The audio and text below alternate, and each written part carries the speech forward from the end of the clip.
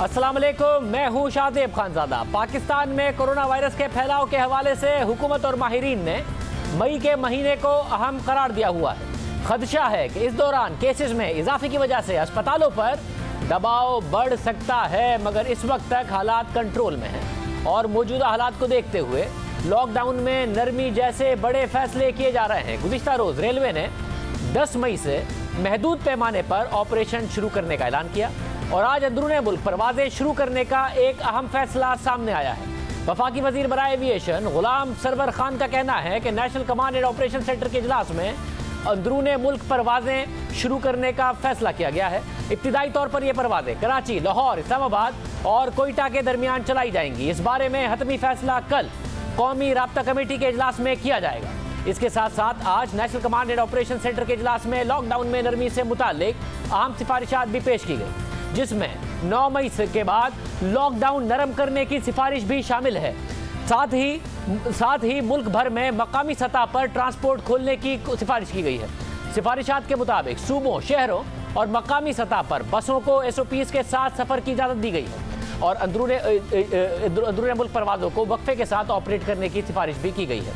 इसके साथ साथ रश से बचते हुए तमाम अहम स्टेशन के दरमियान मुसाफिर ट्रेनों को भी मुनासिब तादाद में इजाज़त देने की सिफारिश की गई है। कम्युनिटी मार्केट्स, रिटेल, अशिया की दुकानें, रेस्टोरेंट्स, वर्कशॉप्स पार्क और खेलों के मैदानों को भी एसओपी के तहत खोलने की सिफारिश शामिल है। इसी तरह दुकानें खोलने के वक्त को बढ़ाने की सिफारिश की गई है, जबकि इतवार का दिन सेफ़ डे, यानी महफूज दिन के तौर पर मनाने और 100 फ़ीसद लॉकडाउन की सिफारिश की गई है, जबकि मजहबी और अवामी इज्तम की इजाज़त ना देने की सिफारिश की गई है। पहले से बंद सनतें और तालीमी इदारे बंद रखने की भी सिफारिश की गई है, जबकि बड़े शॉपिंग मॉल्स भी बदस्तूर बंद रखने की सिफारिश की गई है। पाकिस्तान में एक तरफ़ केसेस बढ़ रहे हैं, दूसरी तरफ़ लॉकडाउन में नरमी पर गौर हो रहा है और अगर इस दौरान पाबंदियों पर अमल ना हुआ तो केसेस बढ़ने का खदशा है, मगर ये जितना भी प्रपोजल है, इस हवाले से ये इतलात भी आई कि सूबों के दरमियान इख्तलाफ भी पाया जाता है। सिंध हामी नहीं है इस बात का कि ट्रेनें खोली जाएँ, दूसरे सूबों ने भी सिंध की हाँ में हाँ मिलाई है। इस हवाले से हम बात करेंगे दूसरे सूबों से भी और सूबा सिंध से भी हमारे साथ मौजूद होंगे। तैमूर सलीम झगड़ा साहब, वज़ीर सेहत खैबर पख्तूनख्वा हैं, साथ याक शाबानी, तर्जुमान बलुस्तान हुकूमत हैं और सईद गनी साहब।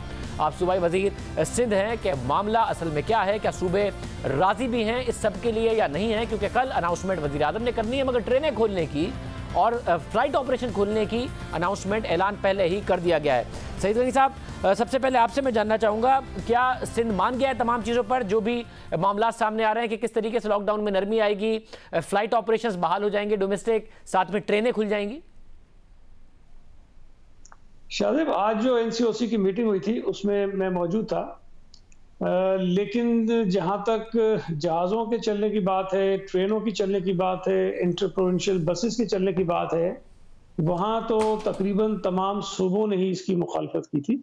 और सबका ये ख्याल था कि ना सिर्फ़ ये कि सूबों के दरमियान जो ट्रांसपोर्टेशन है, चाहे वो जहाज़ के थ्रू हो या ट्रेन के थ्रू या बसेस के थ्रू वो बंद होनी चाहिए, रुकी रहनी चाहिए, बंद रहनी चाहिए। बल्कि सूबों के दरमियान भी जो डिस्ट्रिक्स के अंदर या इंटरसिटी जो बसेज हैं, वो भी बंद रहनी चाहिए ताकि जो अफराद जिस शहर में हैं, वो उसी शहर में रहें। तो इस पर तो एक वाज इतफाक मौजूद था। अब अगर आप बता रहे हैं कि ऐलान कर दिया गया तो ये बात कम अज़ कम बात तय तो नहीं हुई थी। उसमें कहा गया था कि जो इजलास होगा एनसीसी का, उसमें फिर मशावरत के बाद ये बात की जाएगी। साहब, गुलाम सरवर खान साहब से भी पूछ लेंगे। वो वफाकी वज़ीर एविएशन है कि फिर ऐलान कैसे कर दिया गया? अगर फैसला बाद में होना है तो कंसेंसस किस बात पे था? लॉकडाउन में नरमी अगर हो रही है तो क्या शॉपिंग मॉल्स खुल जाएँगे? वैसे आम मार्केट्स भी खुल जाएँगी और जो सूबे के अंदर या शहरों के अंदर जो ट्रांसपोर्ट होती है पब्लिक ट्रांसपोर्ट वो खुल जाएगी, नहीं खुलेगी? किस किस बात पर कंसेंसस हुआ? शायद एक तो मैं ये बता दूँ कि जो प्रपोजल्स थे, वो हम तमाम सूबों को भेजे गए थे। और उन तजावीज़ में ये सारी बातें शामिल थी जो मैंने आपको बताया कि जहाज़ों को खुलना चाहिए ट्रेन को खुलना चाहिए बसों को खुलना चाहिए। लेकिन जो इंडस्ट्रीज़ हैं उनको बंद रखने की बात की गई थी, सिवाय जो कंस्ट्रक्शन इंडस्ट्री है, उसके अलावा। और उसके साथ जो एलाइड जो मार्केट्स हैं, वो उसकी खुलेंगी। बाकी मार्केट्स जो हैं जनरली वो बंद रखने की तजवीज़ है। जो मॉल्स हैं, आपके बड़े शॉपिंग मॉल्स हैं, उनको बंद रखने की बात की गई है। जो स्टैंड अलोन शॉप्स हैं, मुख्तलिफ़ इलाकों में, आबादियों में, उनको खोलने की बात की गई है। और जो दुकानें खुलेंगी, उसकी टाइमिंग तजवीज़ की गई थी। एक तो सुबह से लेकर शाम तक और फिर इफ्तार के बाद रात 12 बजे तक। तो उस पर हमारा ख्याल था कि शायद ये इफ्तार के बाद टाइम नहीं होना चाहिए, उसको शाम में बंद होना चाहिए। बाकी पार्क्स वगैरह को खोलने की बात की गई थी, उस पर हमारा मौकफ ये था कि उनको खोलने की ज़रूरत नहीं है। इसलिए कि इस वक्त लोगों को बाहर निकलने की कोई ऐसी मकाम मैसर नहीं है, लेकिन अगर आप पार्क्स खोलेंगे तो इम्कान है कि बहुत बड़ी तादाद में लोग उन पार्क्स में जमा हो जाएँगे और वहाँ हमें एस ओ पीस पर इम्प्लीमेंट कराना मुश्किल हो जाएगा। प्ले ग्राउंड पर पाबंदी की बात हमने कही थी वहाँ तजवीज़ थी कि खोला जाए, लेकिन हमारा ख्याल था कि उस पर पाबंदी मजीद रहनी चाहिए। यानी कि कंस्ट्रक्शन वफाक ने खुद ने भी जो कंस्ट्रक्शन और उससे मुंसलिक इंडस्ट्री है उसको खोलने की बात की है। बाकी इंडस्ट्रीज़ जैसे पहले सनतें बंद थी वैसे ही बंद रखने की बात हुई है। शॉपिंग मॉल्स और ये भी बंद रहेंगी जो स्टैंड अलोन शॉप्स हैं वो खुलेंगी। ये वफाक की भी यही तजवीज़ है। जी जी जी। जी तजवीज़ यही थी। और फिर इस पर इतफाक हो गया सबका? नहीं जो असद उमर साहब ने कहा था, जो मैंने सुना आखिर में, कि शायद एक आध कल या परसों मीटिंग करेंगे जो एनसीसी की, लेकिन उससे पहले मजीद इस पर बात करके एक कंसेंसस बना के फिर उस मीटिंग में अनाउंस करेंगे।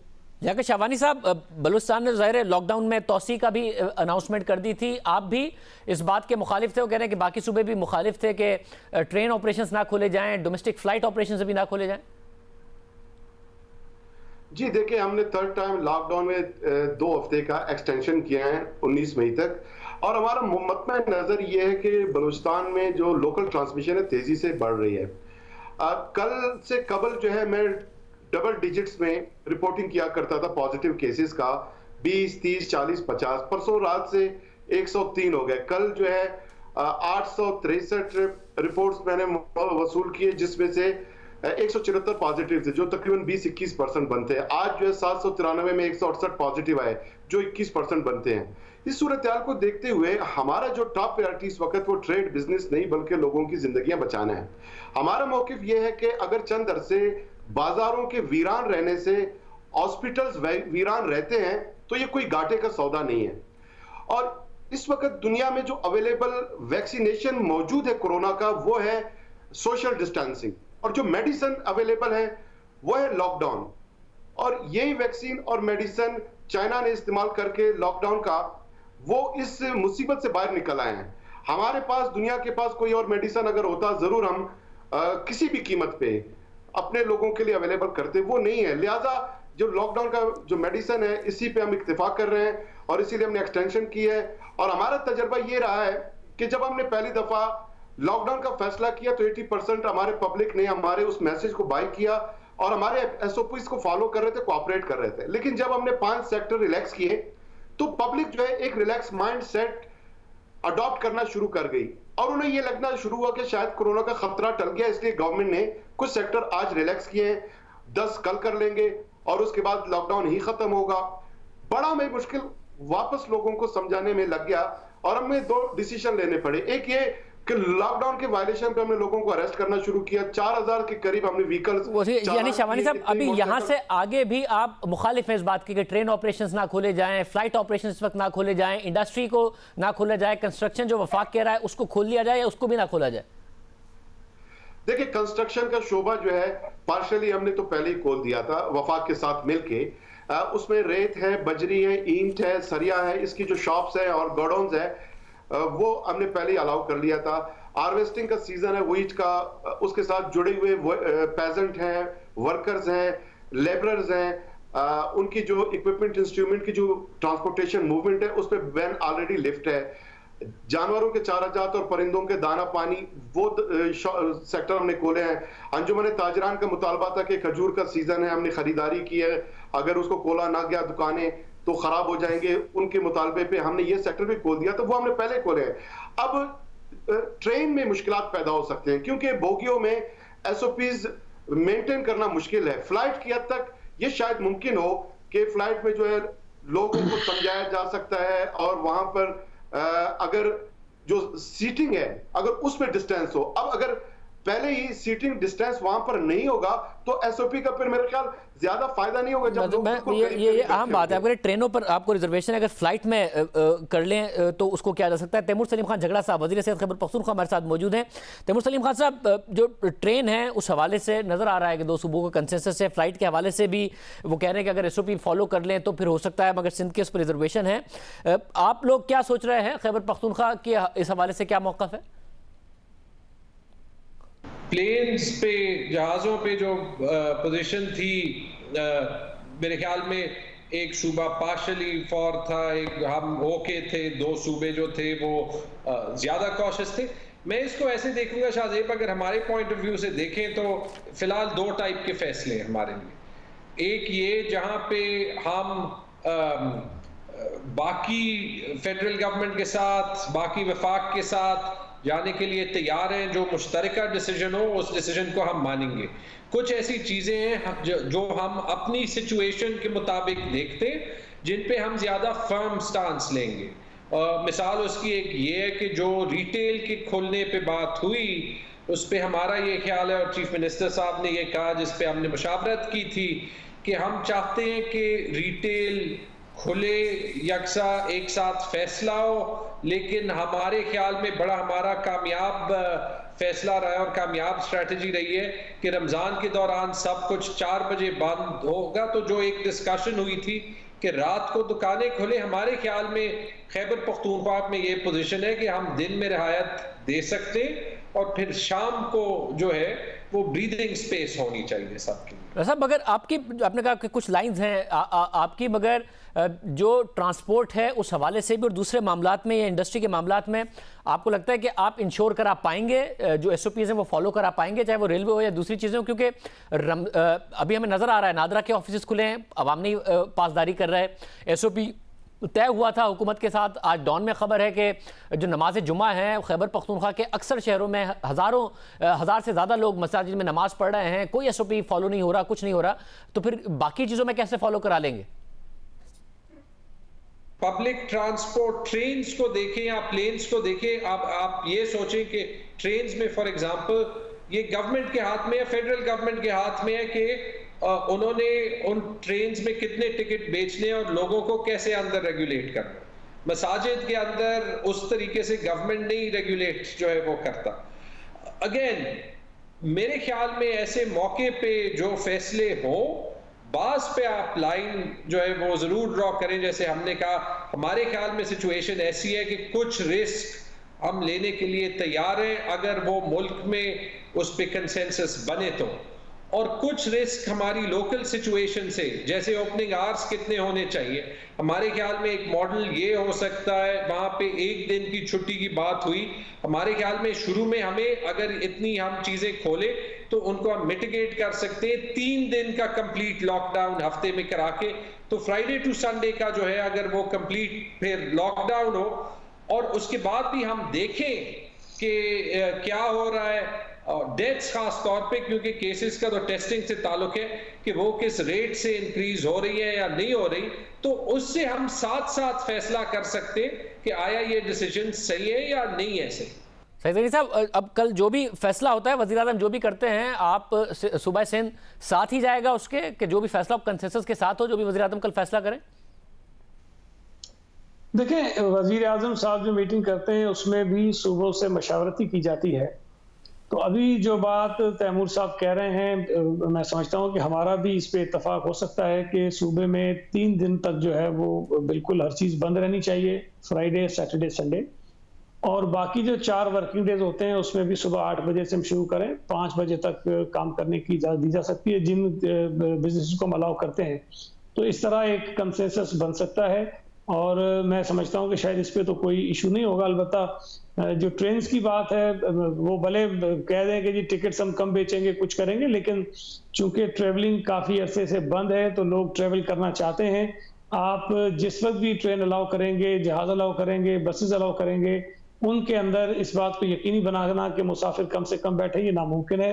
ये पॉसिबल नहीं होगा कि उसको मैनेज कर सके। तो रिवायती तौर पर जिस तरह ट्रेन और बसेस खचाखच भरी हुई जाती हैं मैं ये समझता हूँ कि उसी तरह वो जाएँगी उनको कंट्रोल करना मुश्किल होगा। शवानी साहब आप जो फैसला होता है कंसेंसस के साथ उसकी पासदारी करेगा? बलूचिस्तान भी कि ताकि अगर वज़ीर आज़म फैसला कर रहे हैं तो एक ही मैसेज जाए पूरे मुल्क में या फिर आप समझते हैं कि कुछ चीज़ें होंगी जो आपकी भी अपनी लाइन होगी खबर पख्तूनखा भी कह रहा है और उसके हिसाब से आप लोग फैसला करेंगे।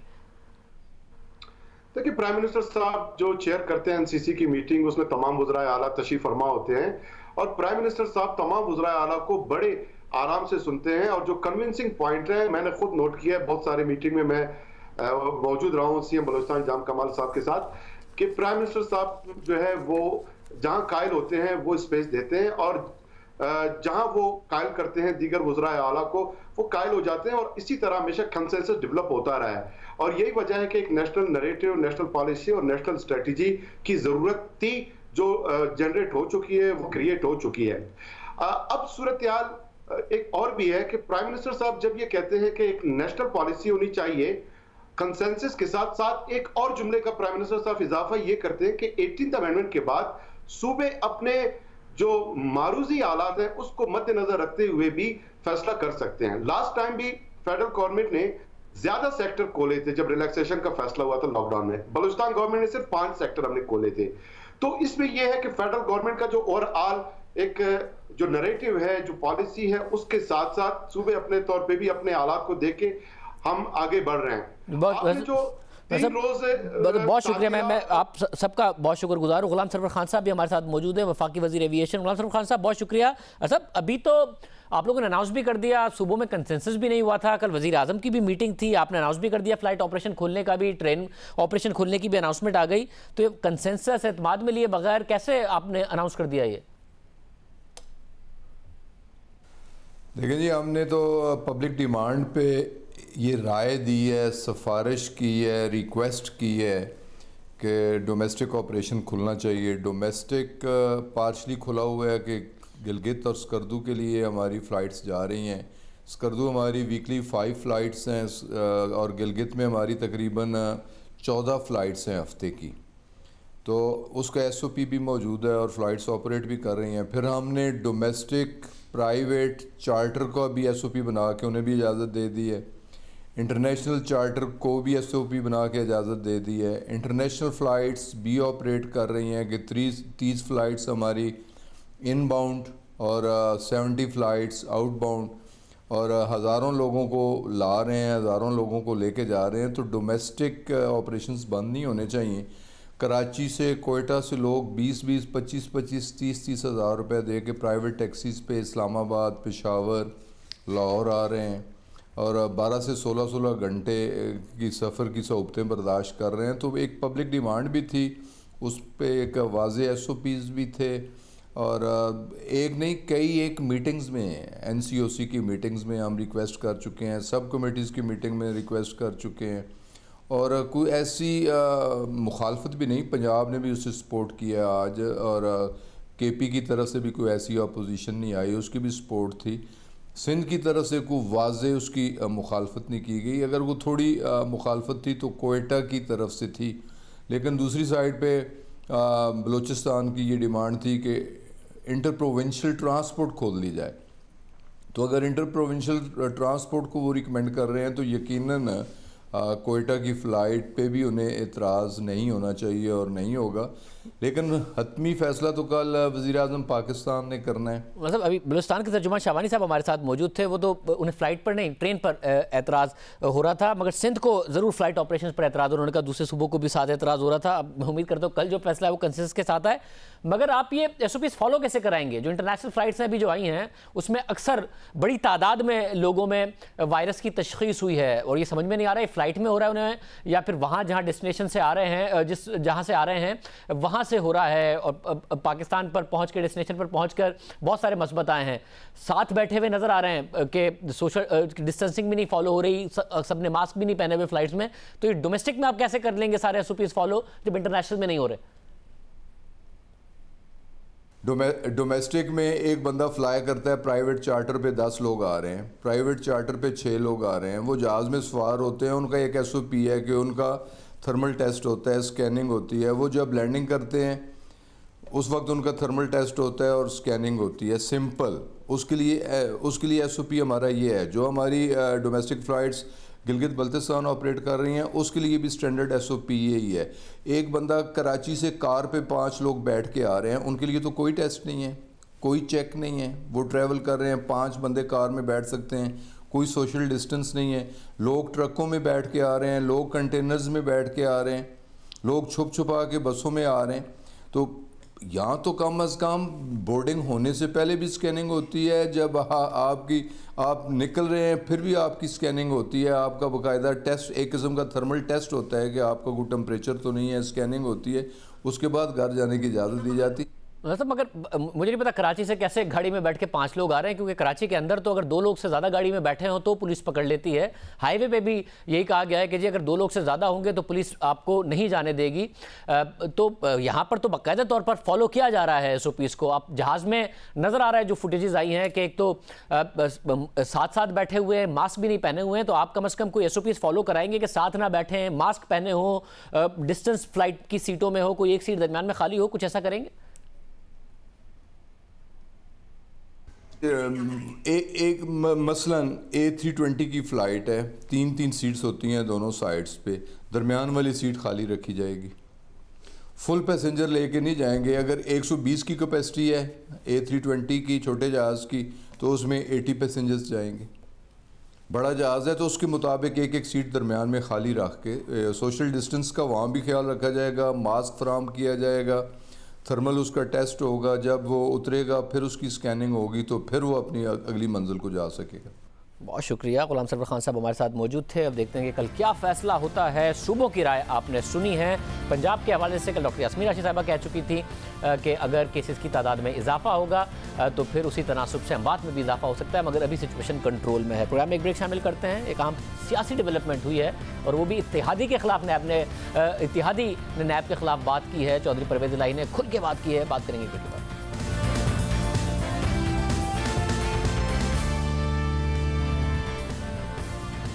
शेख रशीद ने ईद के बाद नैब की टार्जन की तरह वापसी का इशारा दिया। टार्जन की तरफ़ से दो तरफा कार्रवाई का इशारा दिया, मगर हुकूमत के आम इत्यादी ईद से पहले ही नैब के खिलाफ खुलकर सामने आ गए हैं। नैब से जो शिकायत अपोजिशन जमातों को थी, जो शिकायत बिज़नेस कम्युनिटी और ब्रोक्रेसी को थी, अब वो शिकायत अहम हुकूमती इतिहादी जमात काफली को भी हो गई है।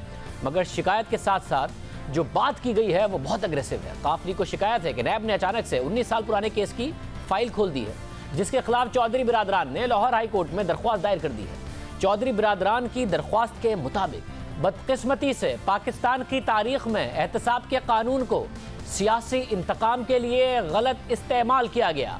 सन 2000 में चेयरमैन नैब ने दरख्वास्त गुजारों के खिलाफ तहकीकात की मंजूरी दी थी और उन पर इख्तियार से तजावज़ और आमदनी से जायद असासों का इल्ज़ाम लगाया।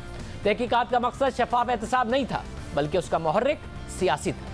क्योंकि नैब ने एक ऐसी दरख्वास्त पर तहकीकात का हुक्म दिया जिस पर दरख्वास्त गुजार का पता तक दर्ज नहीं था। मगर नैब ने चौधरी बरदरान के खिलाफ तहकीकात शुरू कर दी। नैब ने शवाहिद इकट्ठे करना शुरू कर दिए।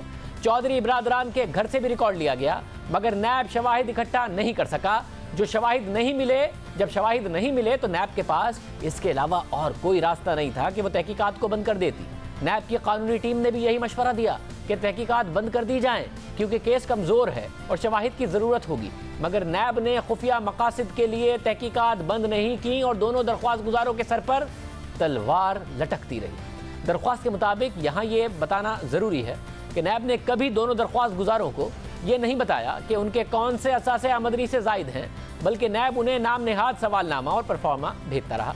दरख्वास्त गुजार, इस दौरान नैब के साथ मुकम्मल ताउन करते रहे। नैब को जो भी मालूम दरकार होती थी, वो फराहम की गई।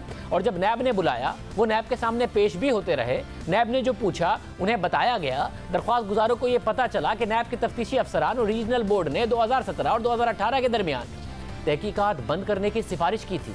हालाँकि उस वक्त दरख्वास्त गुजारों के मुखालफी की हुकूमत थी और इस बात की तस्दीक नैब के रिकॉर्ड से भी होती है। दरख्वास्त में मौका अख्तियार किया गया कि नैब की साख उसकी जानबदारी और पॉलिटिकल इंजीनियरिंग के लिए इस्तेमाल।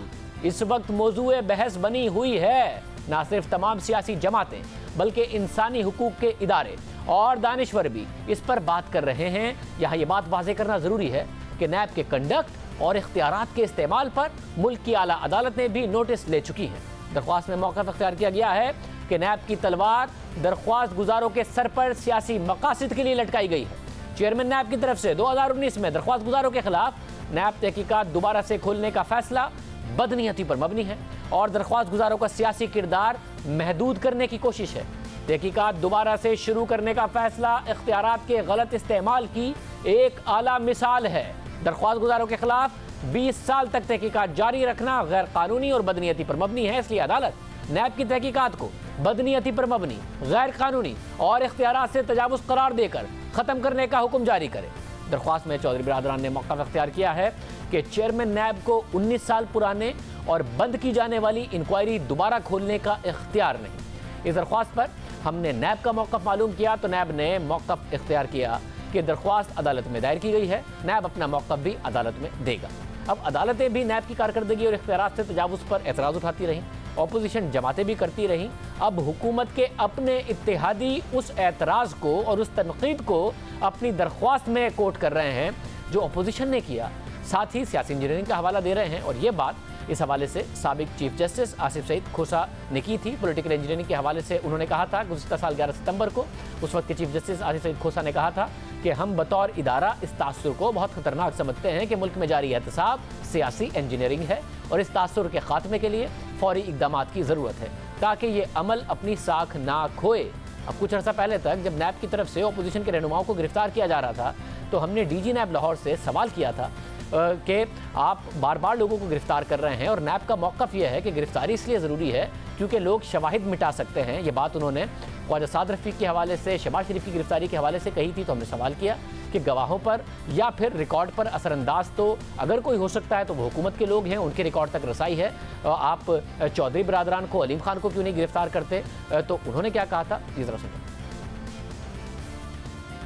आपने परवेज लाई मोनिसला अलीम खान से नहीं पूछा पाकिस्तान में आपके कितने असासे हैं? क्योंकि वो भी पब्लिक ऑफ़िस होल्डर हैं इन्फ्लुएंस अगर वो कर सकते हैं इस वक्त रिकॉर्ड को तब्दील कर सकते हैं तो पावर पोजीशन में वो हैं। उनसे नहीं पूछा आपने वो जितने उनके उनका जितना रिकॉर्ड है वो सारे का सारा हमारे पास सेफ़ पड़ा। ये केस उनका उन सन 2000 से चल रहा है। 18 साल हो गए इनका केस चल रहा है। तो उनके पास जो जो एविडेंस यहाँ पे है उनका सारा मसला ये है कि जो उनकी बाहर प्रॉपर्टीज़ अलेज हैं उसका हम कंफर्म कर रहे हैं ताकि वो हमारे पास आ जाए तो हम उसे टाइम लगे? अब इस इंटरव्यू के डेढ़ साल के बाद काफ लीग को भी नैब से शिकायत हो गई है। काफ लीग ने वजी अजम इमरान खान से कहा है कि वो पता चलाएँ कि नैब ऐसा क्यों कर रहा है। यूनिस के प्रोग्राम कैपिटल टॉक में बात करते हुए काफ लीग से ताल्लुक रखने वाले वाहिद वफाकी वज़ीर तारिक बशीर चीमा ने कहा कि यह वज़ीर अजम इमरान खान का काम है कि वो खोज लगाएँ कि नैब इस तरह की हरकतें क्यों कर रहा है और वो कल ही वजी अजम इमरान खान से नैब के मामले पर बात करेंगे। अब जो नैब 20 साल में असासा जात का पता नहीं लगा सकी जो नैब फर्दर प्रोसीड नहीं कर सकी ये बताएँ मुझे कि उसके ऊपर बहुत बड़ा क्वेश्चन मार्क है कि नहीं। बिल्कुल है। आखिर ये डिग आउट करना चाहिए ये डिग आउट करना प्राइम मिनिस्टर साहब का काम है। हम्म। उनको डिग आउट करना चाहिए कि नैब इस तरह की हरकतें क्यों कर रहा है। तो आप प्राइम मिनिस्टर से बात क्यों नहीं करते? हम ज़रूर करेंगे। एक कितादी होने के नाते मैं कोशिश करूँगा कि मैं सुबह ही उनकी खिदमत में गोश गुजार करूँ कि जनाब ये क्या हो रहा है। हम्म। क्योंकि हम तो उन लोगों में से हैं कि अगर प्राइम मिनिस्टर आपको कह देंगे कि नैब एक इंडिपेंडेंट इदारा है फिर क्या कहेंगे आप? फिर इंडिपेंडेंट इदारा है ना तो फिर इंडिपेंडेंट इदारे के खिलाफ तो अब हमारे पास कोई और रास्ता है कि हम अदालत आलिया का दरवाज़ा खटखटाएँ। अच्छा लेकिन कोई कोई रास्ता है प्रोग्राम के दौरान तारिक बशीर चीमा को नून लीग के रहनुमा हसन इकबाल ने एक मशवरा भी दिया जिस पर उन्होंने क्या जवाब दिया? सुनिए। एक रास्ता है आमिद मीर साहब मैं बता सकता हूँ। जी बताएँ बताएँ बताएँ। जी वो रास्ता ये है कि ये प्राइम मिनिस्टर साहब को सुबह जाके मिलेंगे तो उनको ये बताएँ कि हम पंजाब में आपकी हुकूमत से अलहदा हो रहे हैं। देखिए किस तरह सब कुछ ठीक हो जाएगा। वो वो वो ऐसा इकबाल साहब गुजारिश ये है कि वो आप मुझसे मेरे जितना आप जानते हो चौधरी साहबान को हाँ। मीर साहब आप भी जानते हो वो इतने एक वजादार आदमी है कि ना उन्होंने ये बात करनी है हम्म। ना उनसे ये बात होनी है इसलिए कि उनकी सियासत बड़ी क्लियर है सामने है एहसन इकबाल साहब को भी बिल्कुल मुकम्मल आगाही है इस बात से अलबत्ता अलबत्ता एहसन भाई एक मिनट एहसन भाई एक अलबत्ता देखें हमारे लिए ये हुकूमत के लिए लम्हा फिक्रिया होगा कि या तो वो डिग आउट करे कि क्या नैब की इंक्वायरी सही है कि गलत है। अगर उसकी इंक्वायरी सही है तो we must face the music अगर हमने पैसा लूटा है अगर हमने कोई बदमाशी किया तो हम क्यों ना फेस करें उसको यार? फेस करना चाहिए। लेकिन अगर हमारी क्यादत के साथ या किसी की सिर्फ़ जिस तरह अभी एहसन साहब भी फरमा रहे थे खट्टर साहब ने भी फरमाया किसी को टारगेट करके उसकी इज़्ज़त खराब करने की कोशिश की जाए तो ये तो असल साहब कह रहे हैं ना कि मैं जाकर सुबह उन्हें कहूँ कि हम पंजाब से अलहदा हो रहे हैं। हम मरकज से भी, पंजाब से भी हर जगह से अलहदा हो सकते हैं। मरकज़ से भी, पंजाब से भी हर जगह से अलहदा हो सकते हैं। पंजाब में जो हुकूमत है तहरीक इंसाफ की, उसके लिए काफलीक बहुत ज़्यादा ज़रूरी है। काफलीक के रहनुमा कामिल अली आगा साहब, जो कि चौधरी बरदरान के बहुत करीब हैं, जनरल सेक्रेटरी पंजाब हैं काफलीक के तर्जुमान हैं। कामिल अली आगा साहब, बहुत शुक्रिया। कामिल साहब, ये जो दरख्वास्त में कहा गया है, सियासी इंजीनियरिंग, सियासी किरदार आपका महदूद करने के लिए नैब ये कार्रवाई कर रहा है। आप लोग तो पहले ही तरीके इंसाफ की हुकूमत के साथ हैं, उनका सहारा है। आपका किरदार क्यों महदूद करेगा? आपके खिलाफ क्यों सियासी इंजीनियरिंग करेगा ना शाहजेब हमारे साथ जो होता है, वो तो हम हम तो क्या ये दुनिया रान है। ये 20 साल पहले एक नामूम फ़र्द की दरख्वास्त के ऊपर ये हमारी इंक्वायरी शुरू हुई। 20 साल कबल। और जो ही ये इंक्वायरी शुरू हुई, इस तरीके से हुमिलिएट करने की कोशिश की गई। उनकी तरफ़ से तो यही कोशिश थी कि हम हमिलेट हों। लेकिन अल्हम्दुलिल्लाह उस कार्रवाई की वजह से कि हमारे घर की टूटियाँ तक चेक की गई। यानी चौधरी बरदरान के दफातर तक के ऊपर छापे मारे गए। और क्या क्या कुछ था जो चेक नहीं किया गया, लेकिन अल्टीमेटली क्या हुआ कि साबित कुछ नहीं हुआ, क्योंकि एक नामूम फ़र्द ने जो दरख्वास्त दी थी, जो दो दरखास्तें थी, दूसरी दरखास्त जो है, उसके ऊपर नाम था एक बंदे का, लेकिन उसका अता पता ही नहीं था कि वो कौन है, और आज तक नहीं पता कि वो कहाँ का रहने वाला और कौन शख्स था। तो ये 20 साल से ये बार बार ये कंक्लूड होता है कि इसके अंदर कुछ नहीं है, इसको बंद कर दिया जाए। अच्छा मगर मुझे ये बताइए ना कि ऑपोजिशन के खिलाफ अगर कार्रवाई हुई है तो नज़र आया ऑपोजिशन कहती है कि हमारे खिलाफ सियासी इंजीनियरिंग हो रही है क्योंकि हम वजी अजम इमरान खान की हुकूमत पर तनकीद करते हैं। तो अगर शायद खान अब्बासी साहब तनकीद करते हैं, गिरफ़्तार हो जाते हैं वजी अजम अमेरिका में जाके कहते हैं कि वो कहता था, गिरफ़्तार कर लो, हमने कर लिया, हालाँकि नैब ने किया था। ऐसे इकबाल गिरफ़्तार होते हैं। तो जो जो वजी अजम इमरान खान की हुकूमत को टफ टाइम देते हैं, वो नैब गिरफ़्तार उन्हें कर लेता है और वो फिर तनकीद करते हैं कि इसलिए गिरफ़्तार किया तो बात समझ में आती है। आप क्या टफ टाइम दे रहे हैं? आप तो इतिहादी हैं, साथी हैं। आप क्या कहीं ना कहीं तंग कर रहे हैं उन्हें कि जिसकी वजह से आप नैब पर ये इल्ज़ाम लगा रहे हैं और नैब ये कर रहा है? क्या कुछ ऐसा हो रहा है? क्यों? पता नहीं, समझ नहीं आती कि ये अदारा हमारी जान क्यों नहीं छोड़ता। लेकिन मैं समझता हूँ कि इस सारी का, कारकर्दगी और इस सारी कार्रवाई से एक बात तो इस्टेब्लिश है कि इस अदारे की क्रेडिबिलिटी जो है, वो डैमेज हो चुकी है। अब बैन अवी तंजीमें, इंसानी हकूक़ की और कौमी तंजीमें इंसानी हकूक़ की सब की सब इस बात पे बड़े वाज अंदाज में ये राय रखती हैं कि ये अदारा जो है, ये जो है पॉलिटिकल इंजीनियरिंग के लिए इस्तेमाल होता है। और इस्तेमाल खुद ही हो रहा है या कोई कर रहा है, ये अल्लाह जानता है, लेकिन हमारे साथ जो हो रहा है, अब पॉलिटिकल इंजीनियरिंग के लिए कोई इस्तेमाल ही करेगा इस्तेमाल करने वाले का आप नाम नहीं ले रहे और आप वजी अजम पर तनकीद नहीं कर रहे नैब पर तनकीद कर रहे हैं। क्या ये इसलिए है कि आप अभी वजी अजम को ये कह रहे हैं कि हम आप पे नहीं तनकीद कर रहे हम सिर्फ़ नैब पर तनकीद कर रहे हैं कि वो सियासी इंजीनियरिंग कर रहा है और क्यों कर रहा है किसके लिए कर रहा है ये भी नहीं बोल रहे। तो वजी अजम साहब आप अपना किरदार अदा करें नैब को रोकें। जी यकीनी तौर पे मैं समझता हूँ कि वजी अजम साहब को आ, नोटिस लेना चाहिए और जो उनके ऊपर सवालिया निशान बनता है इस कार्रवाई की वजह से उसको बड़े वाज तौर पे साफ़ करना चाहिए और उनको इस बात का सबूत होना चाहिए देना चाहिए कि वो वाकई इस कार्रवाई के पीछे उनका वजूद नहीं है और वो नेक नीति के साथ हमारे साथ जो इतिहाद उन्होंने किया हुआ है, उसको आगे बढ़ाना चाहिए और वक्त की भी ये ज़रूरत है कि इसके ऊपर वो फिल फॉर नोटिस लें। यानी आपने ज़िम्मेदारी वजी अजम पर डाल दी है कि नैब की कार्रवाई उनकी वजह से है अपोजिशन कहती है, और अगर नहीं है, जो आपके खिलाफ हो रहा है तो वो साबित करें और ये काम करें। तो ये साबित करने के लिए वजी अजम ने यह कार्रवाई रुकवानी।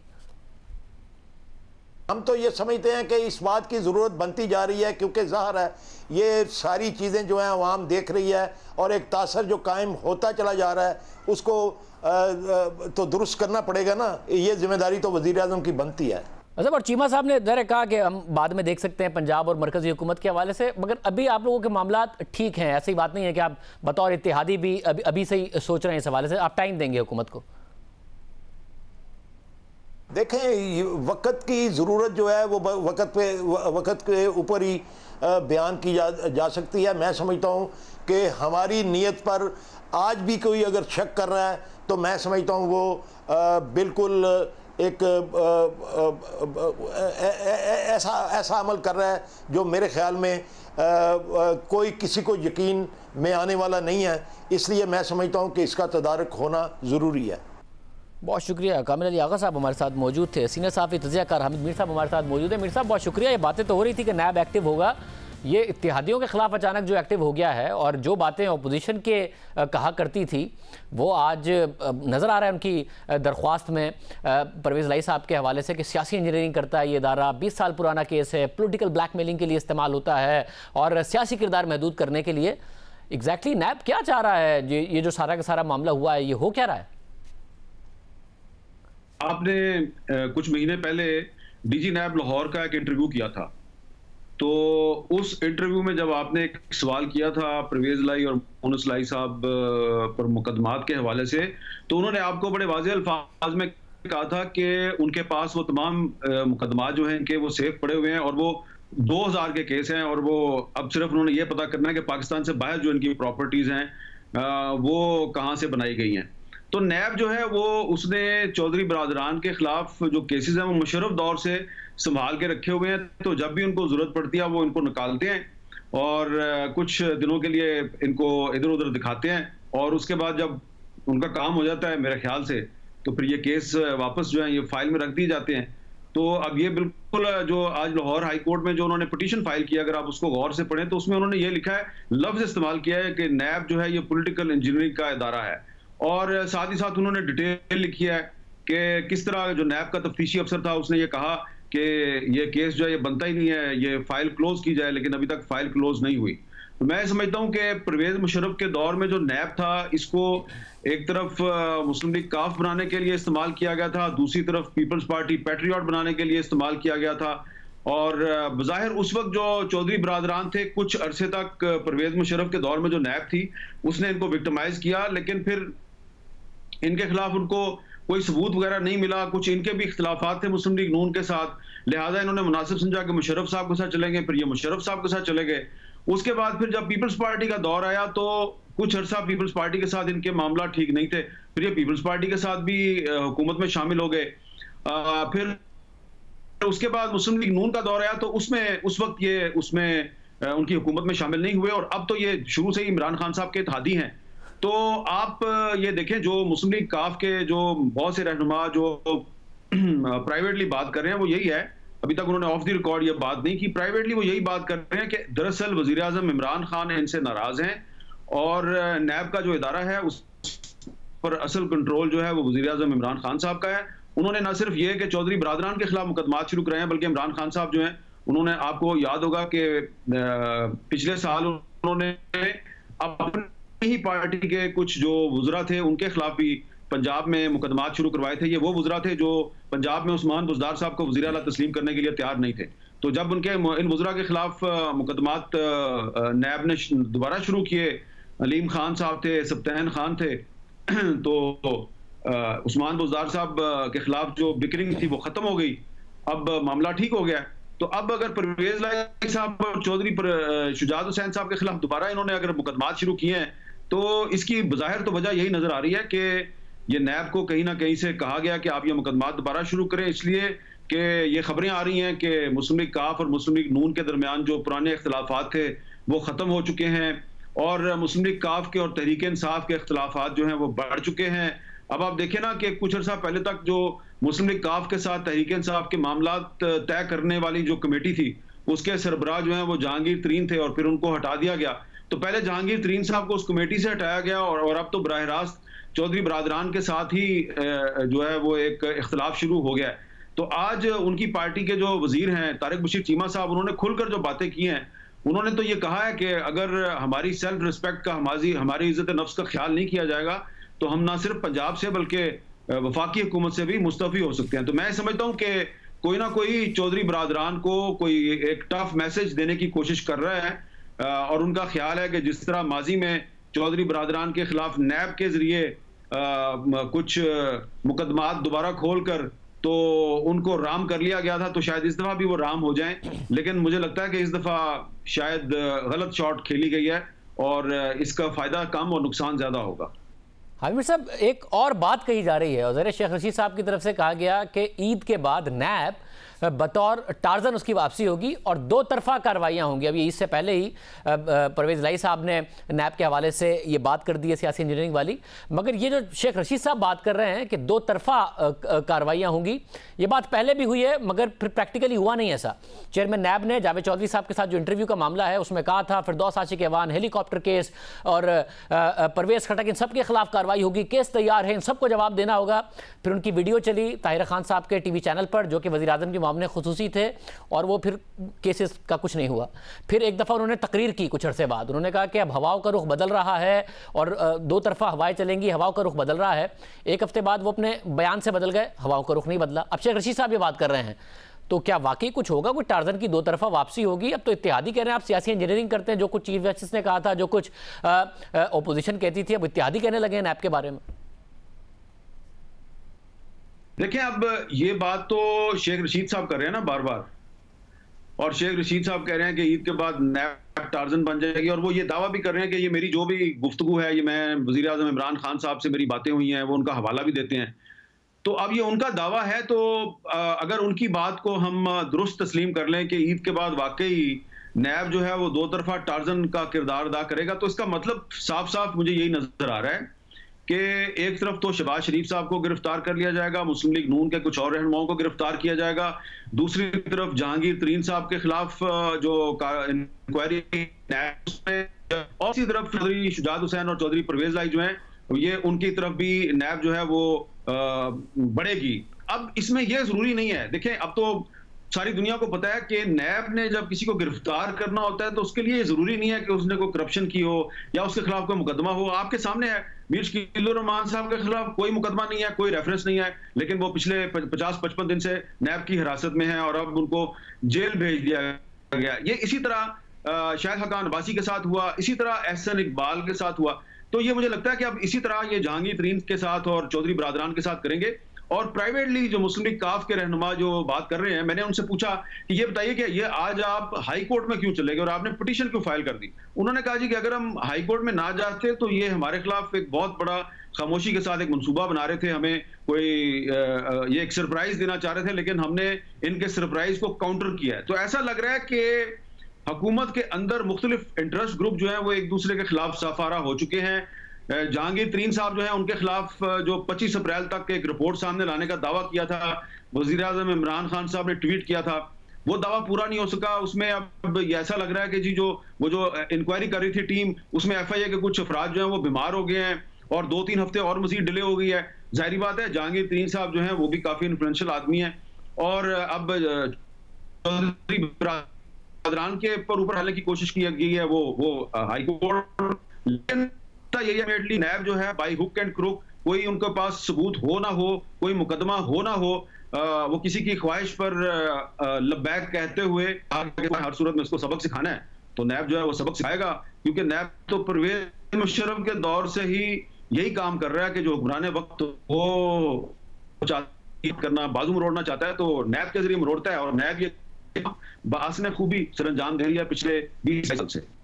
बहुत शुक्रिया। आमिर साहब हमारे साथ मौजूद थे। एहतसाब के नाम पर तहरीक इंसाफ की हुकूमत आई थी और अब जब से तहरीक इंसाफ की हुकूमत आई है, पहले अदालत ने अपोजिशन और अब इतिहादी भी कह रहे हैं कि जो एहतसाब का इदारा है, वो सियासी इंजीनियरिंग के लिए इस्तेमाल होता है।